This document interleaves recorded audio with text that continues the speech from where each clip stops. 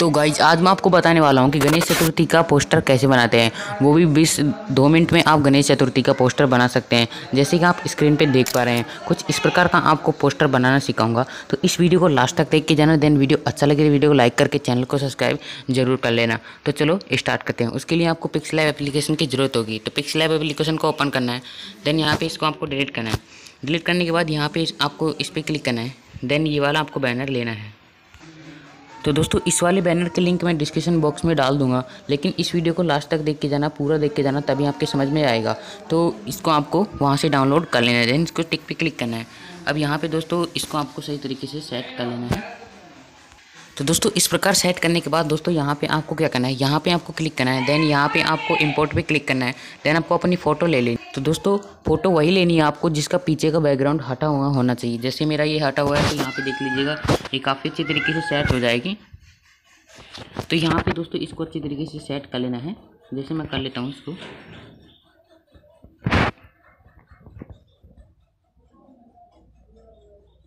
यहाँ पे देख लीजिएगा।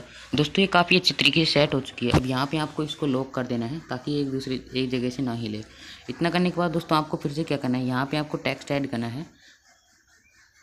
टेक्स्ट ऐड करना है। देन यहाँ पे आपको अपना जो भी नाम है वो यहाँ पे लिख लेना है, जैसे मेरा नाम नवीन कुमार है, मैं यहाँ पे लिख लेता हूँ। दोस्तों, ओके पे क्लिक करना है देन इतना लिखने के बाद आपको क्या करना है?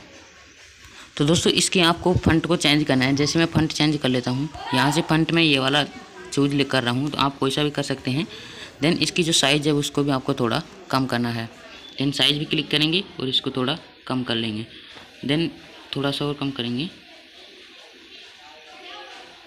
इतना सही है। तो दोस्तों, इतना करने के बाद यहाँ पे आपको कलर के ऑप्शन पे जाना है। देन यहाँ पे आपको सफ़ेद कलर कर लेना है वाइट कलर कर लेना है। तो देख लीजिएगा दोस्तों, ये काफ़ी अच्छी तरीके से बन के रेडी हो चुके हैं। दोस्तों, अब आपको क्या करना है, यहाँ पे आपको अपना जो व्हाट्सअप नंबर है, वो यहाँ पे डायल करना है।